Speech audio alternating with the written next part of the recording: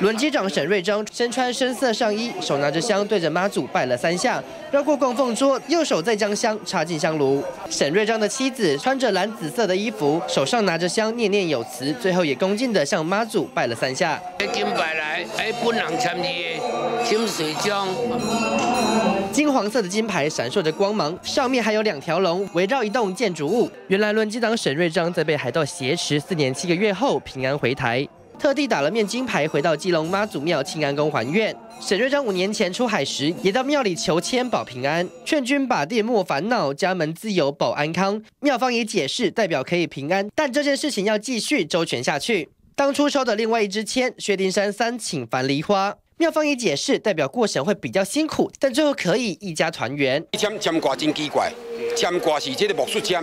魔术签提个月都爱等来时间，就是魔术月。当初收的签诗竟然跟沈瑞章回台的月份一模一样。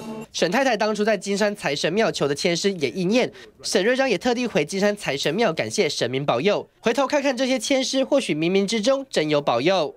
记者朱定荣、曹维生，吉隆报道。